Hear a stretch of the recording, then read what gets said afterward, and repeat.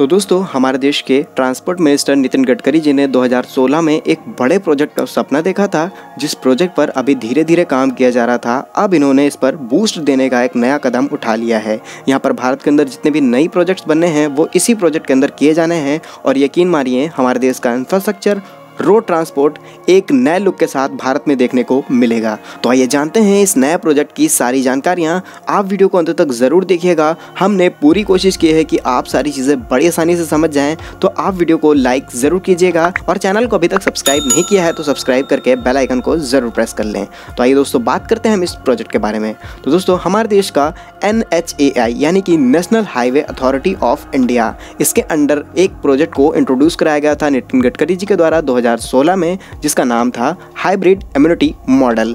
इस मॉडल के अंदर दो मॉडल्स और होते हैं, जिसका कॉम्बिनेशन करके इस मॉडल को लाया गया।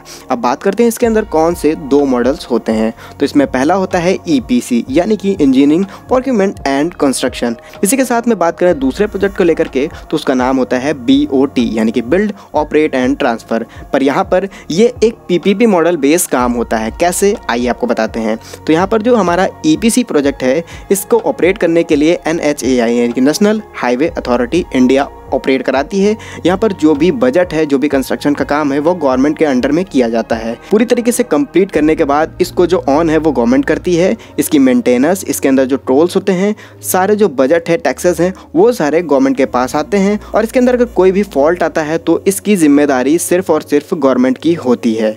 लेकिन हम बात करें वहीं पर बीओटी को लेकर यानी कि बिल्ड ऑपरेट एंड ट्रांसफ़र को लेकर के तो यहाँ पर खासकर प्राइवेट प्लेयर्स का ज़्यादा रोल होता है। इस प्राइवेट प्लेयर्स की मदद से यहाँ पर इसको ऑपरेट बिल्ड कंस्ट्रक्ट सारी चीज़ें की जाती हैं और मेंटेनेंस तक का सारा ध्यान रखा जाता है। बट स्पेशली बात करें तो यहाँ पर कोई भी अगर प्रॉब्लम आती है तो इसकी ज़िम्मेदारी तो इसकी ज़िम्मेदारी जो है प्राइवेट प्लेयर्स की होती है और इसको एक लिमिटेड टाइम के लिए प्राइवेट सेक्टर्स को सौंपा जाता है। और ये चीज़ें उसी में मेंशन होती हैं जब ये एग्रीमेंट साइन किया जाता है तो गवर्नमेंट इसमें एक लिमिटेड टाइम के लिए ये सारी चीज़ें प्राइवेट ऑपरेटर्स को सौंप देती है। यहाँ पर हम बात करें तो जो भी ट्रोल्स हैं और भी जितने टैक्सेस हैं, वो सारे इन प्राइवेट कंपनीज़ के हाथ में आते हैं। यहाँ पर इसमें गवर्नमेंट किसी प्रकार की कोई ज़िम्मेदारी नहीं लेती है। बट फिर भी यहाँ पर गवर्नमेंट का थोड़ा बहुत कंट्रोल रहता है ताकि कोई भी प्रॉब्लम ना सके और ये भी सारे काम जो है गवर्नमेंट की ज़मीन पर गवर्नमेंट की तरफ़ से किए जा रहे हैं। तो ज़ाहिर सी बात है यहाँ पर गवर्नमेंट ध्यान रखती है। लेकिन ये सब चीज़ें जो है दोस्तों पहले की जाती थी या फिर कोई प्राइवेट सेक्टर करता था या फिर इस काम को कोई गवर्नमेंट सेक्टर करता था। लेकिन अभी दोनों को कंबाइन कर दिया गया और कंबाइन करने के बाद इसको नाम दिया गया है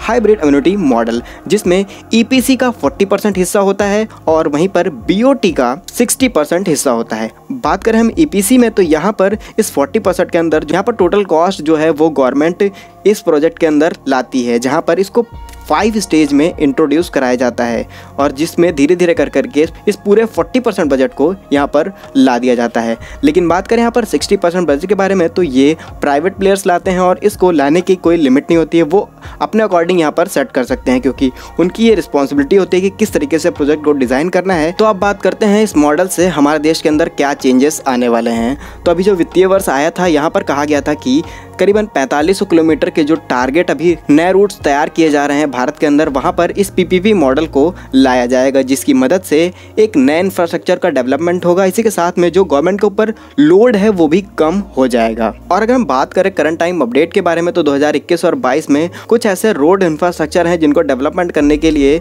जहाँ पर 450 किलोमीटर राजमार्ग को डेवलप करने के लिए इस पीपीपी मॉडल पर ही काम किया जाएगा। तो एक न्यू प्रोजेक्ट आप बोल सकते हैं, जिस पर अब बहुत तेज़ी से काम किया जाएगा, जिसके बाद से गवर्नमेंट का लोड कम होगा और जो हमारे न्यू प्रोजेक्ट्स हैं, वो और भी ज़्यादा एडवांस तरीके से और फास्ट काम के तरीके से किए जाएँगे। जहाँ पर गवर्नमेंट फोर्स भी कर सकती है प्राइवेट सेक्टर्स को जल्दी करने के लिए और अच्छे काम को ना करने पर यहाँ पर फाइन्स भी लगाए जा सकते हैं प्राइवेट प्लेयर्स पर।